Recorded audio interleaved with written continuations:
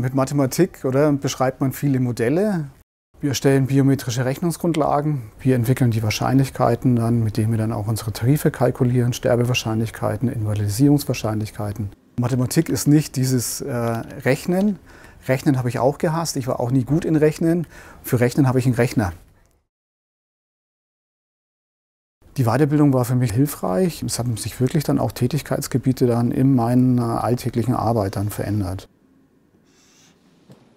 Die Ausbildung führt eben auch zu einem selbstbestimmten Leben. Man gewinnt an Freiheiten, man steigert die Arbeitsmarktfähigkeit, entwickelt Perspektiven für die Zukunft. Auch für einen 50-Jährigen ist das noch sehr, sehr interessant. Ein Jahrzehnt nur auf die Rente zu warten, das ist keine Alternative.